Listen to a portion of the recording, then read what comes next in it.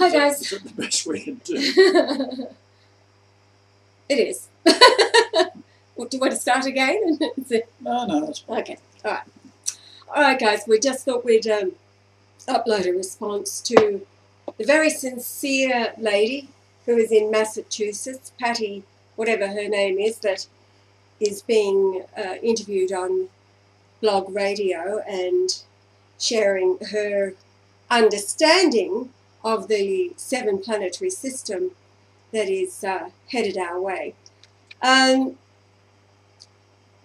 that's the point. It's her understanding of the data. However, as Yah has, uh, in his cool, calm manner, pointed out, she is wrong. What we are aiming for, of course, is all of the elite to go underground. We want them to. That's all part of the prophecy. They will hide themselves in caves and underground. And when they do, as we've been warning them for years, Yah's been warning Mashing them of teeth. Hmm. as they will realise it will be no escape for them and they'll end up as powder. All good. So, can you please explain right, why it is people should not panic? There's very little understanding of what's actually happening out there in the Milky Way galaxy, and that is that the solar system has crossed into the northern hemisphere of the Milky Way galaxy. Um, the Coriolis effect, or the spinning momentum, if you like, of uh, the Earth encountering the opposite effect of the Coriolis of the Milky Way galaxy. The Milky Way galaxy dominates. That's why our weather has been so topsy-turvy in the last uh, five years or so. And once we crossed over, we found that people living in the northern hemisphere, the simplest test of all was to drain water down a, out of a sink and it would turn in the opposite direction, which was clockwise for people living in the northern hemisphere, is now counterclockwise. And people living in the southern hemisphere is now clockwise. Now, we uh, travelled through 11 countries and uh, observed the uh, sunrise and sunset being very unusual and finally tracked it down to Herne Bay, which is about uh, 25 30 miles north of uh, the south coast of England near Dover. So, what we found was that uh, when we went to Herne Bay, probably within 10 miles or 15 kilometres of that point on the coast, on the north coast of this little outcrop of the UK, you look on the map, you see what looks like. Um, that was the centre of the new axis of the Earth. For those living in the Northern Hemisphere, all you have to do is look out and see where the North Star should be and isn't. It's now 50 degrees out, meaning that the, the Earth has tilted over on its side and it's the axis. There's two different things that they're talking about here.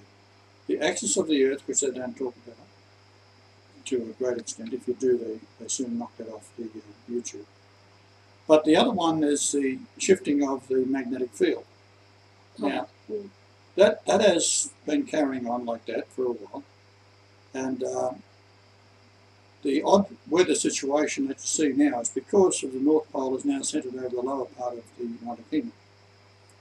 And the South Pole is now uh, not in Antarctica, where it was. It is now near New Zealand.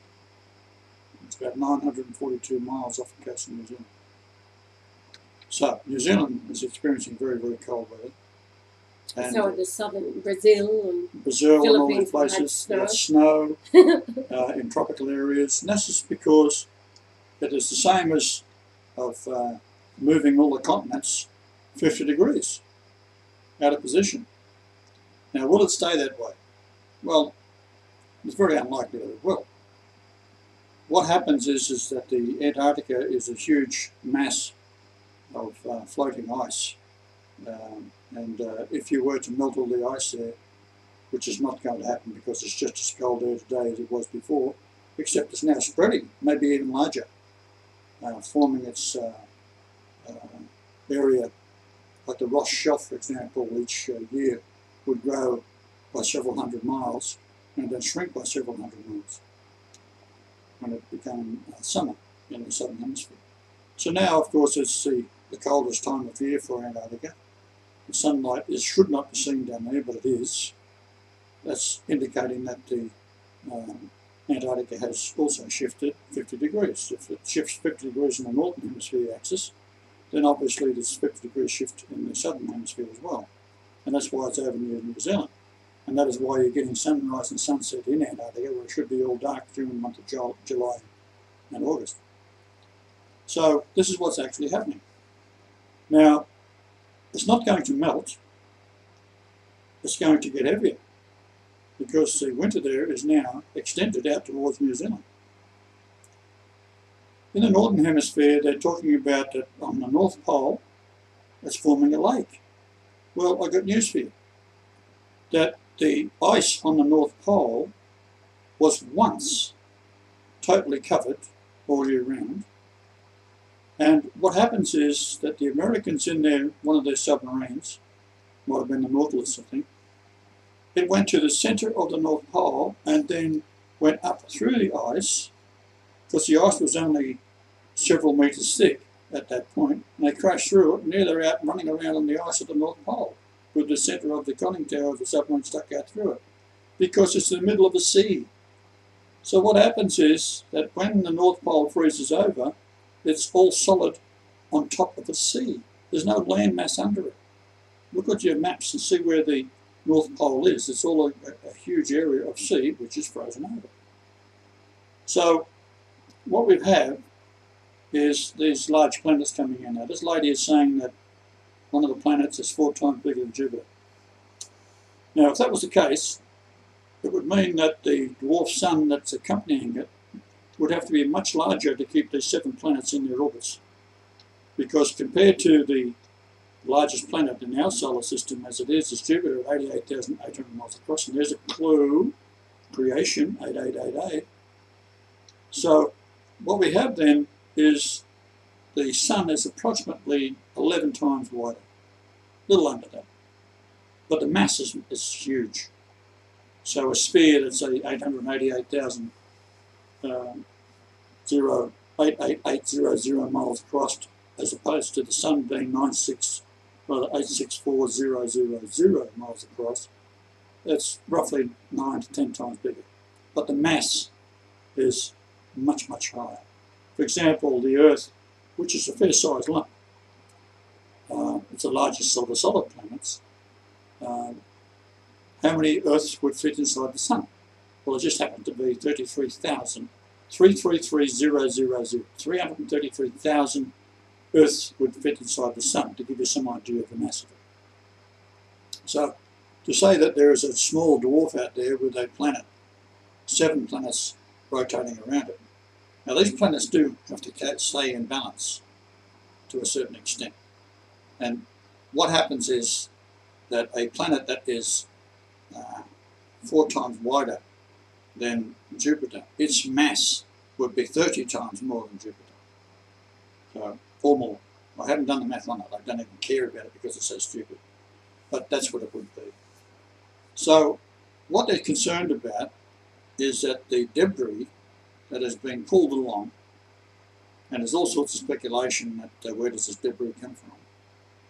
And uh, some say that it's uh, picked up the debris of the uh, one of the planets that was a direct hit by some other huge planet that uh, Planet X or whatever they want to call it, there's all sorts of speculation out there, you can't keep up with the names of them, that they run into each other, and this is what caused the asteroid belt, the planet disintegrating. No, it wasn't. So, debris, of course, is being pulled along by large bodies.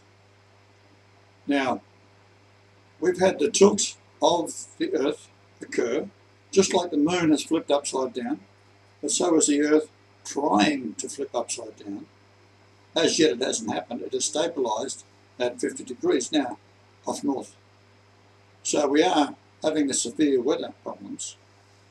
And with the Three, this lady's talking about uh, planets that's going past the Earth. It's already past the Earth. So in other words, the magnetic effect on the Earth has already taken place. What they're talking about now is, and what where she's wrong, that is going to cause the Earth to flip upside down. If the bloody thing is already passed, it's the debris behind it that is impacting in Mars. Now, the atmosphere on Mars is almost zero. So, yes, if you was an, anima, an amateur astronomer and uh, you had, and there's thousands of them in America in particular, uh, they'd be looking at Mars and they could see the impacts occurring. However, the Earth is larger. Its mass is four to five times more.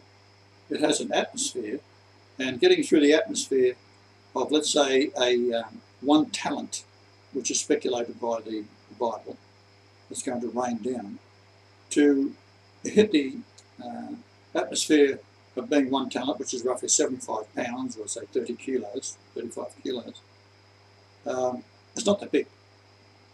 And hitting the atmosphere and getting into the burn situation, which is about 300 miles or 600 kilometres up, somewhere in that neighbourhood, where it starts to encounter the outer layers of air, uh, they get hotter and hotter and it'll burn up. Very, very spectacular to see. For something to reach, reach the Earth's surface, it has to be huge. It might be, say, uh, 20 kilometres across. And that would then burn up as it's coming in, be reduced in size. It may, depending what it's made of, if it's made of ice, well, it's certainly going to melt. So if it's iron, that's a little different. Uh, a lot of asteroids have come in, or meteors are coming out iron. But coming in to uh, rain down on the Earth and cause this massive destructions that they're talking about in America, where they're going to end up in the inland sea, California's going to break up, and it's going to slide into the drink. And Florida, it's going to be washed with, uh, and Florida is not very high, by the way. This lady is talking about the Antarctica is melting, and then uh, all the water. Well, she, what she's saying is the 200 feet of Antarctica, plus the tsunami that will be caused um, by the, the, the flip. The because she is also saying that the Earth will stop rotating and will get to zero point, stop rotating, but the, the waters will keep moving and that will cause this tsunami about a thousand feet high, plus the 200 of the... Uh, well, to give you some idea, on the equator, the Earth is rotating at around 1,300, uh, rather, 1,035 miles per hour. So kilometres, say 1,500, roughly, 1,400 kilometres per hour. Suddenly it stops. Whoa. Come on, give me a break. The mass of this thing is so, so huge that we sit on. And underneath us, we go down uh, 20, 30 kilometres. And you've got a molten mass. Right? So it's not as if it's uh, one solid thing that's going to suddenly stop because there's been a huge break applied to it by this planet going past. It's a magnetic field. And the very worst it can have, the effect on the Earth, is to cause it to flip further. And it's slow. It's not something that's rapidly occurring. Now, we started to show dem and demonstrate with a, a, movie of the moon flipping upside down in one hour on the um, 11th of December 2011. It was actually 11, 11 a.m. that we saw it happen. So there's your number for everyone that's been seeing the number 1111. That synchronistic number comes up lots of times. First Kings 111 it talks about Solomon. That's your beast right there. Um, so the 1111 number is also my birthday. In case it's also Benedict. 111th yeah. Pope. Yeah, mm. 111th Pope. So uh, it's a sacred number, otherwise I wouldn't be on it. If it was another number, I'd be on that instead. So, no, 111 is a good number. One is Alpha, it's God, the Father, etc. So, all these monsters that uh, been running the world. Before you go to the monsters being running the world, uh, address the magnetosphere of the Earth, how it will not collapse. Why? Well, see, um, what she is saying is that the magnetosphere or the magnetic fields will collapse well, and allow. Well, that's right. She's also um, saying that uh, all the transformers are going to blow up and, and so forth. In America, uh, people in Europe may not know this, and Australia, but if you drive through America, they have their poles stuck up in the air. Because they have a, uh, a lower voltage, um, the house voltage is 110 volts, and uh, therefore to, to get a feed into the house, um, they have adopted the idea of putting the transformers on poles. And quite often uh, in America, a transformer will blow up. And it's, it's quite common for a, a, a, huge flash to occur. And it's, uh, when I say huge flash, something that might be blinding if you're up close to it. But uh, if you're driving down the road 100, 100 uh, yards away, 100 metres away, uh, it's no big deal. Uh, so this is quite common. So they have the um, transformers that feed the houses on top of the poles. Whereas in Europe and Australia and these places, England, they don't have the transformers. They have bigger transformers and they serve them in many cases underground. And, um, and then go up to one distribution point and then from there they'll have the wires go out which are small, cheaper, better way of doing it. Higher voltage, 415 volts between phases, whereas in America it's 220 volts between phases. And they bring 110 volts in Usually they bring in a single phase, and they call it, it's actually two phases, the Americans got that wrong as well. They bring in two wires of a start point of transformer, and uh, two wires coming in, they call that single phase. Well, there's only three wires coming off a transformer, and they're 120 degrees apart. So they bring two in, that's two phases. Now I've argued a point with electricians in America and Canada, and they still don't get it. I've drawn it out in pieces of paper, and they still don't get it. It's thick as too short, plain silver. so they bring in a single phase, it's not, it's two phase. Okay, so they've got 110 volts between the neutral point and the uh, one phase, and then the other phase, which is 120 degrees out on the transformer or on the rotation. What it is, it's the rotation of, of 360 degrees divided up into three parts of 120 degrees apart, is why you have a star point or a delta point on three positions on a transformer, because it's being fed by the three phases coming in. So suddenly they've got a single phase out of that. It's really got me beaten. I thought about it for years. I thought, how can they all be such stupid? Anyhow, that's how it is. Now, wires that pass through a magnetic field set up what is called an EMF, and the EMF is, um, if it flashes on and off, it'll generate a surge of electricity. So if you have a lightning flash hit a tree near a transformer, a surge of high voltage will go through that and burn out the transformer. Fine. But we're talking about a, a planet going past that has a magnetic field, and that somehow is going to cause every transformer on the planet to go haywire. Hello? Nothing happened. The only thing that could cause this kind of effect is a solar, a major solar flare from the sun.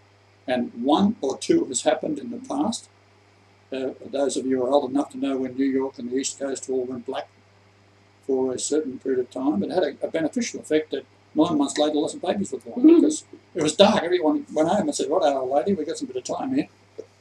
And uh, that's what happened. The uh, population went up. So, yeah, so the, this was caused by a solar flare. All right. So some of these huge transformers are affected by it. It's not going to happen. We're not going to have the same point. But these scientists that get on to the bandwagon of a man like Einstein, who's supposed to be the genius of all things, he's wrong on every point.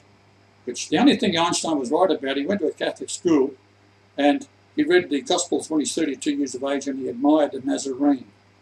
So that tells you something. He's one of the men that has been highlighted as being one of the smartest men on earth, uh, is saying that the Gospels were not taught in the Catholic schools. Hello? That's going to change, isn't it? Now, they are very, very scared at the moment because um, Benedict has recognised me as being Christ. I don't care about everybody else. I was only after one man to recognise me, and that's the head of the church. Because the Catholic Church is the great whore, no doubt about it. And the Protestants are right they, they have done some dreadful things and they are justified in breaking away from the church and making better. But when Christ comes back and he says, right, oh, I'm a Catholic, we're going to put all back together and the whole world's going to become Catholic, it's going to do another what they, the Protestants, want the Catholic Church not to have been, to be. Because Christ's going to do it. I can't convince 36,000 different Protestant churches, but I can convince one Catholic. So, all these people, the evil ones, they go underground, and I've showed them before. If you go underground, you're dead meat because of what happened with the CIA tunnels. And this lady does mention that the the uh, tunnels underneath uh, on either side of the Mississippi, mm. they'll be crushed. And then what happens is you slam the doors shut, the pressure builds up inside very, very slowly. And like being in a bathysphere when you go down 12,000 feet, which people do in these submarines, if you was to suddenly come up and then open the lid, the person inside blows up like a balloon into a million bits. So they have to decompress very, very slowly. And what happened with the CIA tunnels, with all the junk inside and all the secret equipment and all the people, and they're safe. All of a sudden, the doors blew out on, simultaneously. There's two different CIA tunnels that, that blew up within hours of one another, and everything in it was powderized because if you and I were sitting in there and we was up to 300 psi, that's pounds per square inch, call it uh, 100 kilos per square inch. And suddenly the doors were open and we're back down to 14.5 pounds per square inch, so 7 pounds, 7 kilos per square inch roughly, then you would pop and every cell in your body would just burst apart. That's what's going to happen to him. I told him, I told Obama, Obama when he was going down to uh, go underground to have a look at the uh, Denver uh, nonsense, I said, you go underneath there, son, you're not coming in. They'll kill you, and they'll do it in such a way that they'll sacrifice you in horrible ways. They'll sacrifice your kids before your wives, then your wife, and then you. Right? They'll have dreamed up things. Why do we know that? Well, they're all Satanists. This is how they, they make their living. This is what their God is. Causes all sorts of pain and suffering throughout the world. So they take the elite. You've done your job, son. Now get down there, we're going to do your thing too. We don't hear from you no more. And some of these um, videos that this idiot has made, this is Obama, were two years in advance. Like, how dumb is that? Never make a video talking about something that's going to happen in two years' time because they could kill you and you're dead for two years before they use your video. This is what this idiot did. So, this is what we're dealing with. It's all bullshit. And uh, don't worry about it. Uh, don't go buying culverts and digging them into the ground. You haven't got time for what's going to happen anyhow. Uh, don't put your, your camper under the ground and put a, a, uh, a metre of uh, soil on top because that's a thousand, uh, well, five or six hundred kilos per square metre of loose soil, that's how much it weighs. Your little trailer would be crushed flat. And uh, it's what this lady is saying, all the good intention, she hasn't got a clue about the mechanics of what she's talking about. She has no idea of astronomy. Um, and so therefore, it's a load of crap. However, the seven planets are real, aren't they? Oh, sure, the seven yeah, planets. But they're angels. Right? That's where the angels dwell, right? That's where they coming down, taking over. Right? The luminaries from Enoch. I've just, I've just written a letter to the Pope, and uh, uh, I've explained to him that uh, you can go anywhere in the world except Australia, and uh, you'll find these magnificent, uh, huge stones that weigh in tons, um, 1,300, 400 tons, that have been quarried, lifted, moved, shaped, put into walls. And this is the Baalbek, I think it's called, in Syria. Um, that's just one of the locations. You go down to South America, Titicaca, for example. They've got stones up there weigh thousands and thousands and thousands of pounds or kilos. They've been moved huge distances, placed together. Uh, there's uh, Teotihuacan, I think it's called. Um, they've got uh, stones there that have come from 2,000 miles away, something huge distance. Uh, they've got uh, the Mexican um, huge pyramids that are based on pi. The base times uh, 4 pi gives you the height, or divided by 4 pi gives you the height. And they have a mica, one of the pyramids there has a mica slab in it. It's about in feet, 2 feet thick or 500 millimetres. It's about um, 70 metres square. Uh, it comes uh, 5,550 miles away, uh, kilometres away is your Christ number, from the middle of South America. That's the only place where this is found. So it's been lifted, cut out of the, the quarry, lifted, and if you know anything about mica, you can squeeze it with your fingers and crush it all to bits. So this has been lifted up, taken 5,550 kilometres and placed on this pyramid, which are all aligned perfectly north, south, east, and west on the former rotation of the Earth. It's all out now. And uh, who did it? Well, the aliens did it, didn't they? From Planet X. Alien And they're coming back. We can ask the Arcanautis about that when they get here. Well, I have one little thing to say about that. Bullshit. There's no life out in space. The only life out in space that's coming is the angels. The angels. Angels of God. The And they ain't the life that we know it. Right? These are angels of God.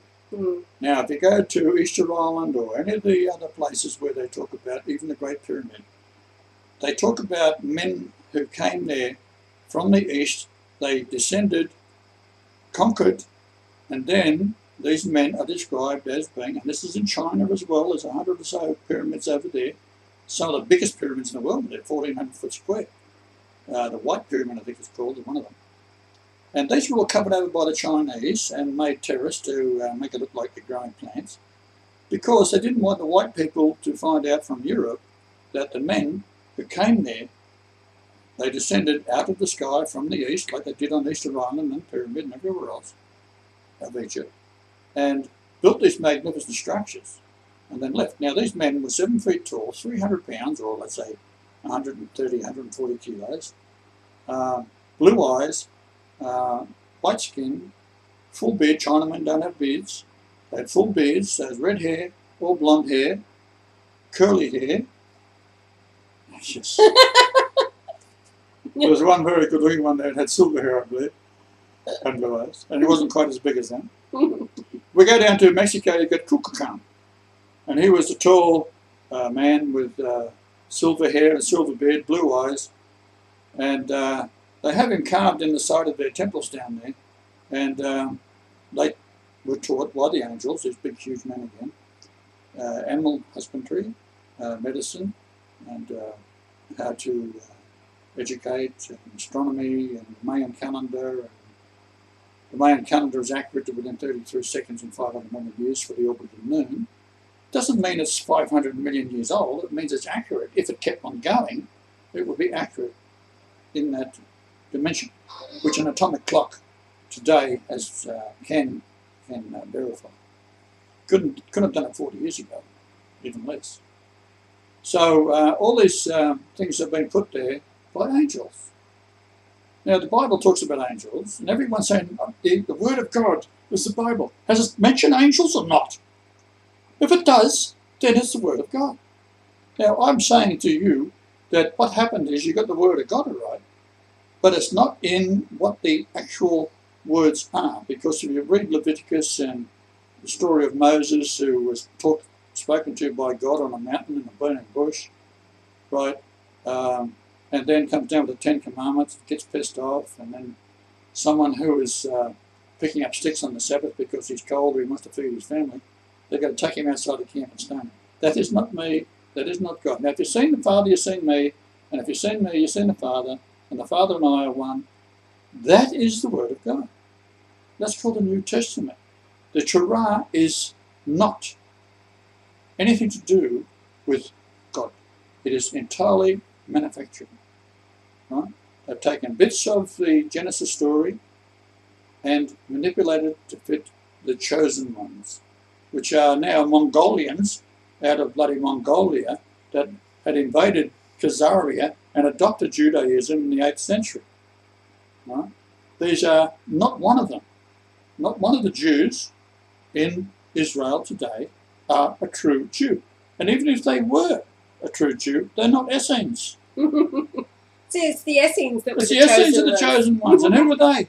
They're the Shemites. The Shemites are descended from Shem, not Mongolians. Right? They're the Goy. They've reversed everything as what you know what the propaganda is. It's all bullshit. Right? My hero, and I'll say it again, was Hitler. If you read some of the things that Hitler said, Actually, I. I, will. I'm going to make a separate upload and, all right. and, Well, uh, let's let's I uh, won't give it away. Um, let's uh, leave it there. mm. And uh, that light was quite good at the moment. I, I'm quite happy with that. so don't worry now. We've got John and Catherine down in Florida. heading, heading toward Florida. Right, driving down the coast, driving down the coast from Maine, and uh, I can assure you, uh, they're not going to get swamped. Now, Florida, uh, the best part of it is uh, the, the swamps itself, the Everglades, and that's about three foot above sea level. So it takes a very small wave to wash right across Florida, and it's the lower part of Florida, of the Everglades. I've been through there. I've been eaten alive by mosquitoes down there. I spent some time down there. I interviewed people that um, uh, said that they've seen aliens, spaceships. Actually, when I was down there, I went to Shoreline Park, where all the aliens show up. They have this alien sighting every three days or more. This has been going on for years. You talk to natives down there, and what it is is the swamp gas coming up, or it's the uh, Gulf of Mexico giving off this uh, uh, gas that farts now and then, and spontaneously it will ignite. and it's quite pretty to see. And you'll see a flash of light, and you'll see something like an eight-fingered, like a, a- if you've got a gas cook stove, and you turn, it's got eight burners, for, for example, all the blue light. That's what it looks like. There's blue and a little bit of yellow, and it'll, it'll drift along. It looks like a UFO going along. All of a sudden, go pop, and I very often a white. with my hand? A white that'll go like that, right? So it's running away like that. You go pop, disappear, and then a white burning bit will fall down towards the earth and then maybe fall three or four hundred meters and then go in. And, and what about all of these other odd shapes that people have been seeing? They call them motherships and UFOs and, and all, all kinds of um, things that people have been seeing and reporting and, Well, I looked, at, I looked at one which was quite interesting and it's a hot air balloon. You can see the frame of it and it's stretched over, filled with helium gas or something like that. And uh, we have to be very careful about what the imagination of the human being will get into, uh, in particular in America, we're all fluid about it. So um, I wouldn't take too much um, on what an American tells you. And um, that's not to mean that they're stupid, it means that they've been caused to be unable to think clearly because of fluid. That's what it's all about. So they can put things in your head, and um, of course you've been poisoned all these years, and um, you've got all these telecommunications uh, waves and so forth. and and And all these things can be beamed into your head. And what you think you're seeing, you, you do see. Right? It's not really there. Right? I'll give you an example of that. Um, if you talk about the evolutionary idea that we are billions of years old, the um, NASA made a big mistake by training their uh, orbiting telescope, um, the Hubble, at one area uh, which is in ast- uh, astrology would be um, Pegasus. And Pegasus is the darkest area of space. In other words, there's the least amount of stars in it. And it's called the window of Pegasus. It opens every year at a certain time, around October. And that's where the, the myth of the white horse is going to come jumping through into this 500 foot Jesus sitting on the back of it. Uh, so um, that's not going to happen either. Now, what they did, they trained their uh, cameras at this dark part, expecting to see the 15 billion light years away. Stars will start, or galaxies will start showing up, which they could see, after training the cameras on this area for weeks or whatever it was. And uh, when they got the results, what they see is fully formed galaxies, the same as the nearest galaxy, Andromeda. Therefore, all the galaxies, no matter how far away they are, the same. Instead of seeing galaxies forming at the edge of the universe and the light travelling here 15 billion years, and you should see a little tiny newborn galaxy. Didn't happen. Why?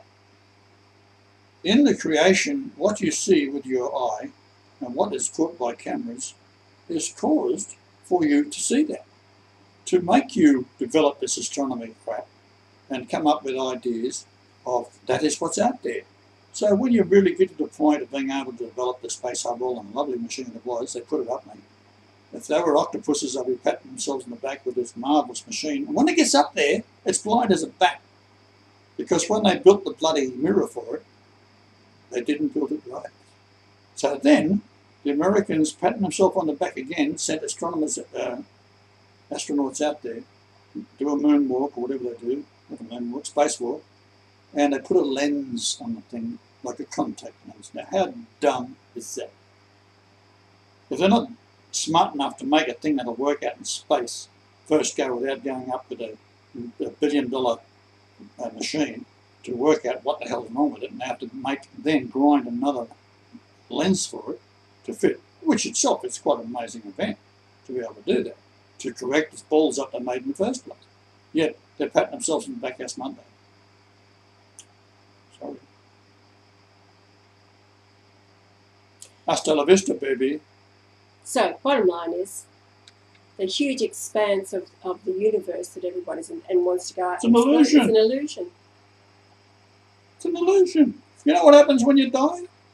You don't go out in the galaxy, you go to somewhere else entirely different. You go through a white light, you're into a spiritual realm, and there's no stars, there's no Andromeda, there's no this, there's no that, there's no no bloody space telescope, the Hubble, none of No, that.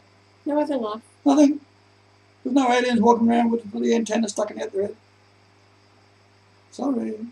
Man is made in God's image, you're looking at him, and that's what you're going to look like. And if you was uh, very, very fortunate, uh,